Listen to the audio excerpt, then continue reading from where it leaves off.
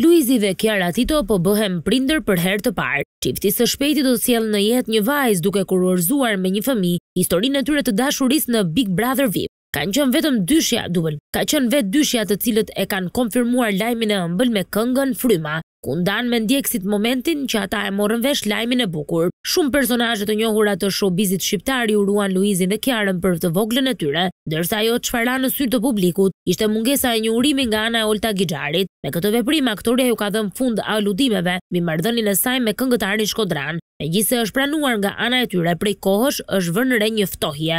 As filmi Në kuadër të dashurisë ku dyshja janë protagonistët kryesorë, nuk i bëri ata që të harrojnë hatërmbetjet të kaluara të Big Brother vip, të cilët ishin armiq të betuar në lojë. Ndryshe nga Efi Dhedhes, Olta ka vendosur që të mos e urojë çiftin për frytin e tyre të dashurisë.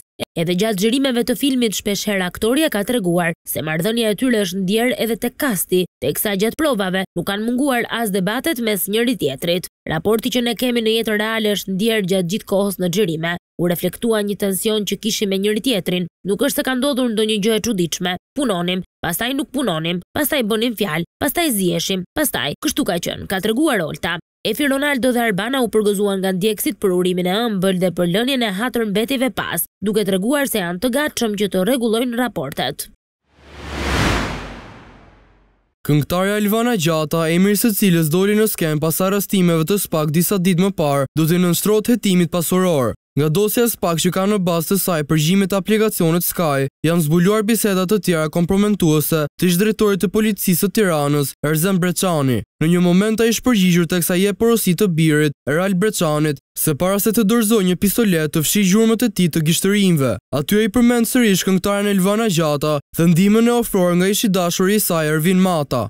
Nga sa kuptohet, Mata përdorte këngëtaren për të lëvizur paratë e fituara nga trafiku i kokainës, duke qenë se vetë e kishte të pamundur t'i lëvizte shuma të tilla nga një shtet në tjetrin. Elvana Gjata, këngëtarja e njohur edhe e përfolur gjerësisht në ngjarjen në zonën e ish-bllokut në Tiranë, ku mbeti i vrarë Fabian Gaxha dhe u plagosën Nelio Hato së bashku me Ervis Martinaj, ka dalë sërish në skenën e lidhjeve të saj me Ervin Matën. Emri i këngëtares del në një nga komunikimet që bën Erzen Breçani me djalin e tij, Eraldin, ku Erzeni i thotë të birit se kishte folë me Ervinin e ky i fundit do t'i transferonte pesëqind mijë euro borxh me llogarinë e këngëtares Elvana Gjata. Me sa duket Mata përdorte llogarinë e të fejuarës së tij Elvana Gjata për të kryer transaksionet. Mes shumë bisedave gjatë një komunikimi në muajin gusht dy mijë e njëzet në Sky, konfirmohet biseda e transaksionit prej pesëqind mijë eurove. Këngëtarja nga ana tjetër akoma nuk ka reaguar lidhur me lajmet që qarkullojnë prej disa ditësh.